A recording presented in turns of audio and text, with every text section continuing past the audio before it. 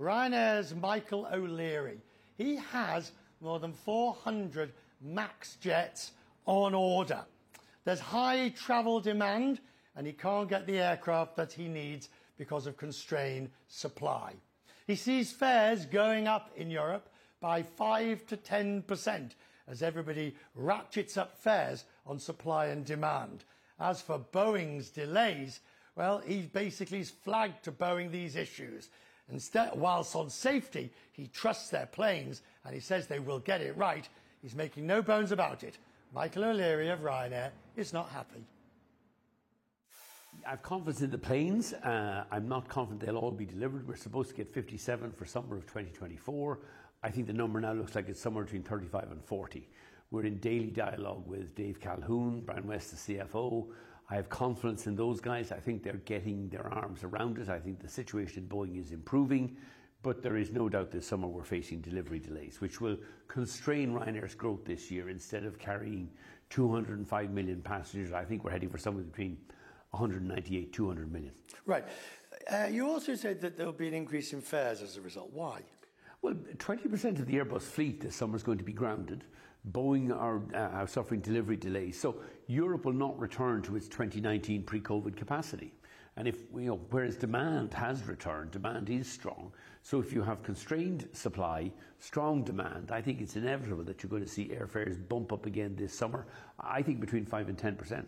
And you were telling us earlier about sometimes when you do get a new plane, what you find at the I mean, we now have a, we have about 24 engineers in Seattle monitoring the production. But when we take delivery of an aircraft into Dublin, we spend 48 hours going through the plane, checking it for errors, omissions, or anything else. And we, we you know, uh, last year in 2022 and 2023, we were finding little things like spanners under floorboards, uh, in some cases seat handles missing, things like that. That shows, I think, a lack of attention to detail quality issues in Boeing. Uh, no, nothing big, nothing major. Um, but, you know, that's part of our surveillance of the Boeing system, and we're not willing to put an aircraft into service in Ryanair unless we've fully, we're fully satisfied that everything is there and as it should be. And you've made your views clear. Yeah, yeah. I mean, to you know, to Boeing at the most senior levels, we've been saying for 18 months, both publicly and privately to Boeing, that quality control post-COVID, since they got back making aircraft, has not been acceptable, and it needs to be improved. Boeing now accepted that's the case. The FAA now accepted that's the case, and I think that's good overall for customers and for consumers, even if it means some aircraft delivery delays this year. So, you're getting fewer planes. There'll be higher fares and there'll be also the usual dis- ATC disruption over the summer. It's not a very cheerful look. I, am more optimistic. I mean, one, I think there'll be less ATC disruption this summer. The French had 57 days of ATC strikes last summer. I don't think they will be as bad this summer. The Olympics in Paris will distract them for a couple of months during the summer. We'll then have the Euros in Germany uh, in the autumn. The capacity constraints mean there'll be less pressure on European ATC, and we will be flying, even with the growth we do get, we'll be add, flying 35, 40 new Boeing aircraft that carry 4% more passengers but burn 16% less fuel. You're taking over as head, as, as chair of uh, A, A, A4E.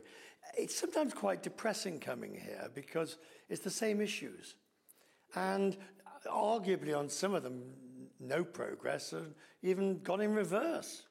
I think there's an element of truth to that, but you know, we meet every year. This year, you know, as a group of airlines, we're carrying probably six, eight percent more passengers than we did this time last year. So we're complaining about things that haven't been addressed. ATC reform hasn't been addressed. Protection of overflights hasn't been addressed. We still have this ludicrous environmental taxation in Europe that only applies to European short haul flights. We exempt long haul flights and we exempt transfer flights, which are account for the vast majority of Europe aviation CO2 emissions. I mean, I think it's absurd. You have airlines calling for a level playing field that don't even pay the environmental taxes on their long haul and transfer flights. Um, so there are issues that need to be fixed. I think we have a new European Parliament, new Commission getting elected later on this year.